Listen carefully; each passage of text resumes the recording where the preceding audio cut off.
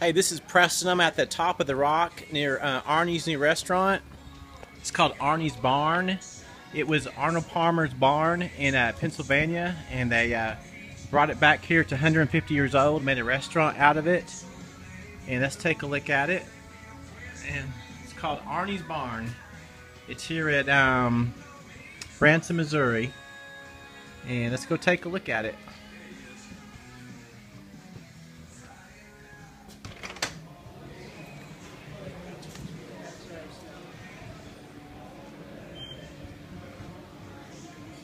This shows how they are constructing the took the barn apart in Pennsylvania and had the Amish take it apart and then brought it back here to Missouri and put it together. And there's a painting to contribute to Arnold Palmer.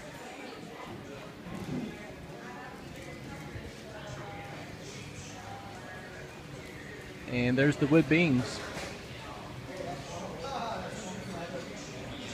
The real pretty view of the Ozark Mountains around Branson, Missouri.